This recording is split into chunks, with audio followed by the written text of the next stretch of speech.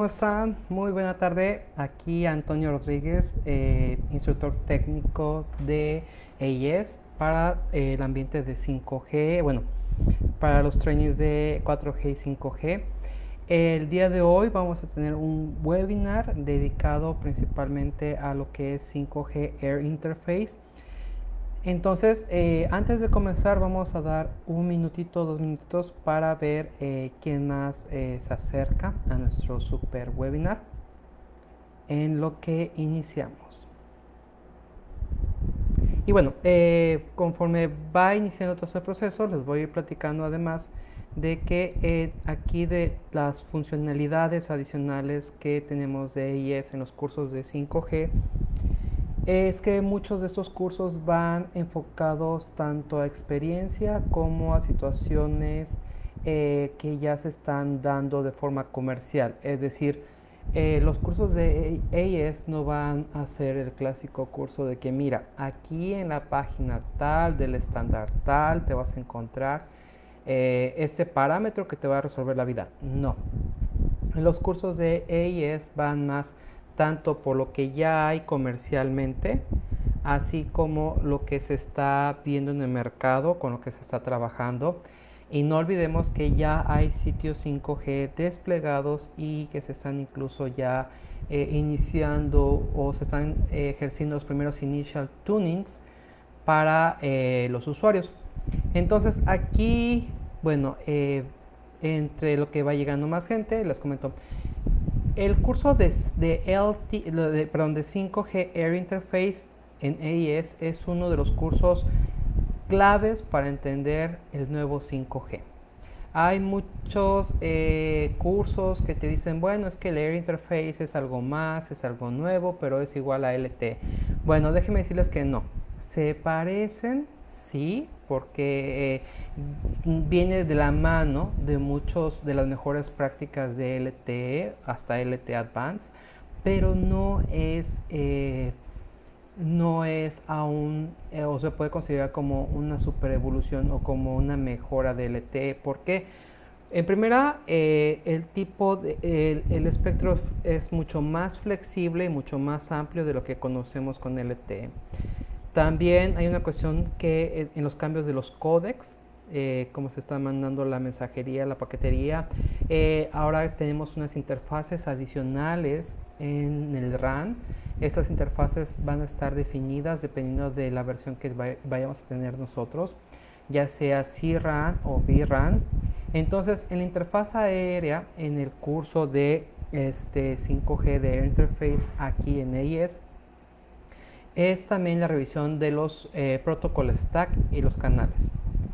Hay, es, complicado porque hay mucha, eh, muchas gentes que incluso actualmente en el mercado te dicen, no, es que yo veo únicamente el protocolo stack de, este, eh, de capa 2 o layer 2, ¿no? O yo veo nada más de layer Layer 3, que Layer 2 es más hacia la investigación de los canales, cómo está trabajando el layer de, el protocolo de MAC, toda la capa de MAC.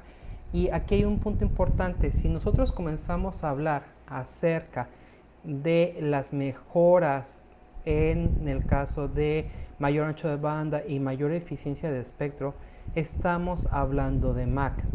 Entonces, y bueno, Además de todo eso, aquí hay un punto fundamental en 5G, que es el famoso, este, ¿cómo se llama? Es el ENDC, que es UTRAN New Radio eh, Dual Connection.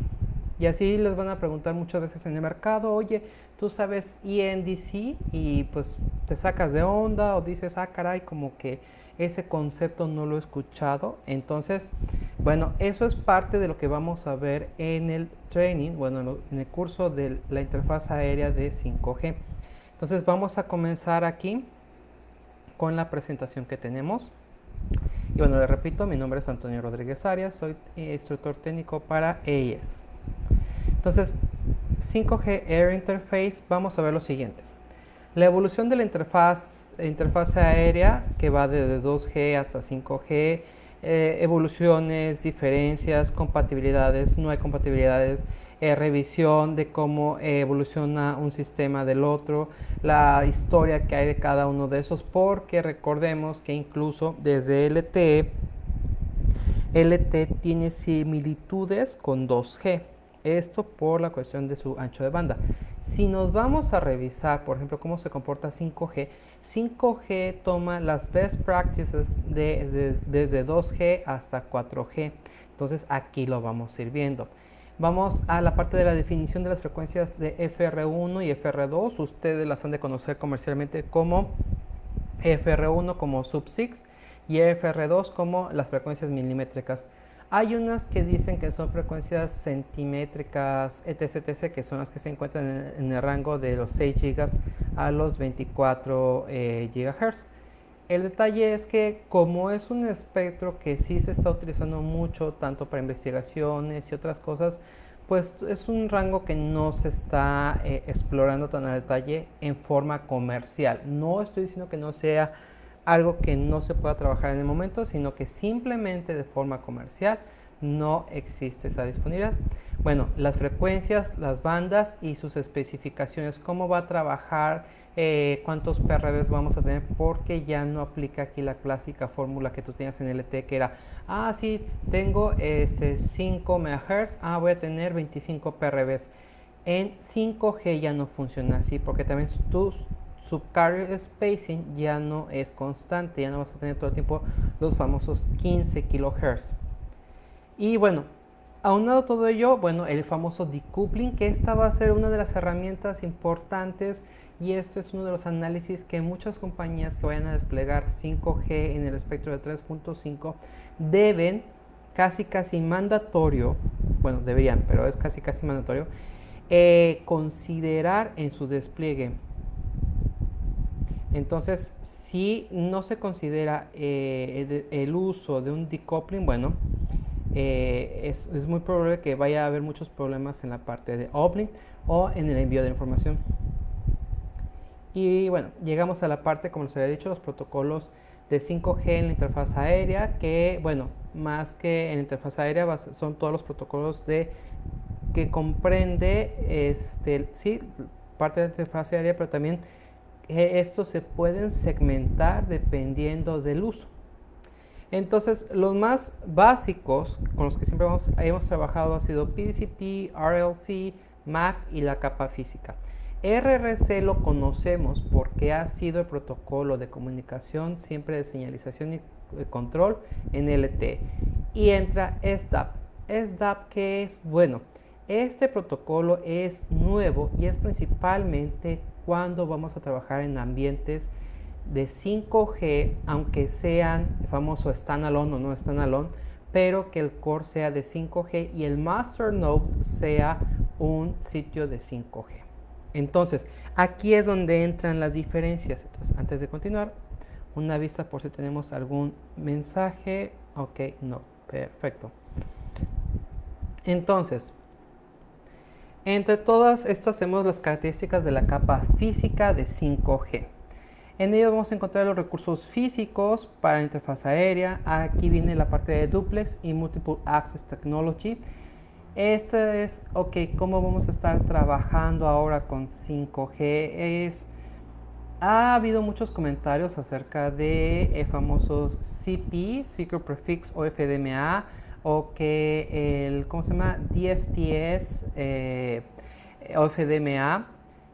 Pero también aquí hemos hablado, bueno, en general se ha hablado mucho de 5G y se ha visto en muchos escenarios que se hablan de, los eh, de las ondas o de múltiple acceso en señales no ortogonales, los famosos NOMA, non-ortogonal, bla, bla, bla. Aquí lo que pasa es que este curso está orientado de lo que hay en el mercado y de lo que hay en el release número 15 de 3GPP. Entonces, todos esos que escuchan que los NOMA, que los nuevos códigos XYZ, que no sé qué, que las nuevas interfaces, este, múltiples interfaces aéreas, Muchos de esos son proyectos que quedaron en el camino en la estandarización de 5G. No son elementos 100% o no son elementos ahorita de 5G no solamente por la cuestión del espectro, sino también de cómo está trabajando este sistema. Entonces no podemos llegar a decir, ah, sí, tenemos los canales NOMA y tenemos esta modulación y este acceso. No, no, no, no. Aquí hay que ser claros y totalmente congruentes con la información que estamos dando, porque es responsabilidad de AES el darles a ustedes la información que está confirmada y que hay en el mercado. No se les va a dar un curso teórico de las mejores prácticas que podría pasar, no, es de lo que ya hay y cómo se va a trabajar. Pero bueno, regresando a ello, también este, los procesos de la capa física, un overview general, el frame structure y time frequency resource, como vamos a estar trabajando en tiempo y frecuencia, la parte de los uplink channels y downlink channels. ¿Por qué? Porque aquí, uff, es es increíble como todo lo que sabíamos anteriormente de nuestros sitios o nuestra comunicación de 5G cambia. Cambia, cambia, cambia totalmente. Ah, que yo antes tenía, por ejemplo, mis canales de PFitch, eh, PFitch, eh, bueno, PHitch, PFitch, tenía mis canales de eh, Broadcast Channel, tenía mis canales de esto, tenía mis canales de, de Resource Element y que Resource Element, eh, digo, Reference Signal hacía esto con los PDCC, P, PDSH, ¿no? No, aquí cambia. ¿Por qué? Porque lo que va a hacer 5G a través de los canales tanto de uplink como downlink es permitir que el usuario y la radio base eh, tengan además de una mayor comunicación, una mayor sincronización. Entonces el usuario ya no va a estar tan a la deriva de que, ah, mira, ya cuando te estés perdiendo la señal, haz un proceso de Hanover o mejora tu modulación o cambia esto. No. Cada canal que requiera cierta prioridad va a tener su propia versión o su propio canal de reference signal o, el famoso DMRS, de Modulation Reference Signal entonces la sincronización es más rápida. Por ello ya no se repite también tanto los canales de, eh, ¿cómo se llama? Los canales de sincronización para eh, el PCI, que eran los PSS y el SSS, así como los broadcast channels, cambian. Bueno, luego seguimos con los procedimientos típicos, que es el famoso scheduling y el hybrid ARC el Random Access Procedure, que esos son principalmente de cómo se comporta en la conexión para Uplink. Y por último tenemos capacidades y especificaciones de los móviles, es decir, ok, qué, eh, qué versión o qué sistema o cómo voy a estar trabajando o qué características requieren mis equipos para trabajar con mis plataformas de 5G. ¿Y por qué? Porque no, ya, ya más bien cambia nuestra visión de antes que era el clásico este, categoría 10, 15, categoría ahora casi casi hasta 20, ¿no? No, ahora se dividen en tres familias eh, principales que van a estar segmentadas para distintos servicios. Que si va a ser un servicio IoT, que si va a ser un servicio para ciertos elementos de conectividad, si va a ser un servicio para mobile broadband, etc, etc, etc. Entonces allí es donde vamos a estar hablando y trabajando de, ok, ¿y qué capacidades? Por ejemplo, eh, también aquí vamos a ver eh, la dominancia del famoso eh, standalone y non-standalone, sus diferencias y cómo me afectan. ¿Por qué? Porque muchas redes el día de hoy se van a desplegar como un sistema non-standalone NSA o NSA. Pero ese sistema no es lo mismo el non-standalone que un sistema ENDC. Que es, la, dual conexión, la dual, la conectividad, pero mientras que non-standalone puede ser un core. Eh, de, 4, de 4G conectado uno de 5G y uno de 4G donde el 4G eh, sea el master, 5G sea secondary eh, server. El ENDC es la conexión dual para transmitir y recibir información a través de ambos elementos. Aunque no se eh, recomienda, es totalmente un dual connectivity por la cuestión de que este, los recursos como sería un carrier aggregation entre ambos sistemas, puede ser que los usuarios que no tengan acceso a 5G pues tengan una experiencia menor en la cuestión de las características de la interfaz aérea. ¿no? Entonces todo esto es parte de lo que vamos a ver en, nuestro, eh, en nuestra presentación, bueno, en nuestro curso de 5G Air Interface de AES. Eh, la verdad es que es de los más completos. Vamos a ver también eh, mensajes de Layer 3, vamos a trabajar con eh, la señal, bueno, no con la señal, sino vamos a trabajar con la, ciertos casos particulares de las señales, hasta dónde llegan, cuántos recursos, etc, etc, para ir viendo las diferencias que vamos a ir teniendo o gestionando entre 4G y 5G, así como las tramas principales de cada uno de estos, ¿no? Entonces, este es nuestro contenido de nuestro curso de 5G Air Interface de parte de AES. Y vamos a ver si tenemos algún comentario. Ok. Perfectísimo. Y bueno, entonces, eh, aunado a todo esto que hemos estado viendo, por favor, si tienen alguna pregunta, duda, sugerencia o comentario, eh, saben que nos pueden contactar tanto en las redes sociales o a través también de nuestro correo, nuestro correo electrónico. Eh, estamos sumamente geniales de que este curso también se pueda estar dando obviamente 100% en español. Bueno, eh, más bien sería como algo de Spanglish. ¿Por qué? Porque hay muchas abreviaturas y hay muchos parámetros que es mejor hablarlos y describirlos en inglés para eh, luego, eh, digo, no traducirlos totalmente, porque por ejemplo, un caso común es por ejemplo el RSRP, eh, si a ti te toca trabajar de forma internacional, te dicen, oye, ¿sabes qué? Creo que el, el RSRP no tiene conexión eh, tú ya estás acostumbrado a decirle RSRP o por ejemplo el MIMO connectivity, connectivity o otras cosas como el Open Loop, Closed Loop, todo eso no se traducen literalmente porque son eh, palabras o formas sumamente técnicas que lo único que provocarían serían mayor confusión.